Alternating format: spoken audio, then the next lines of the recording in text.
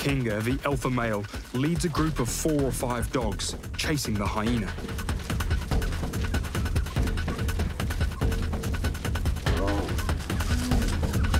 His wingman Kufika takes over.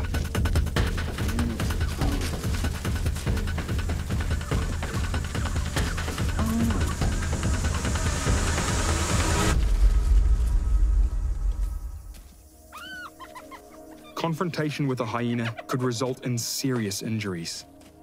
But it's worth the risk to protect the pups.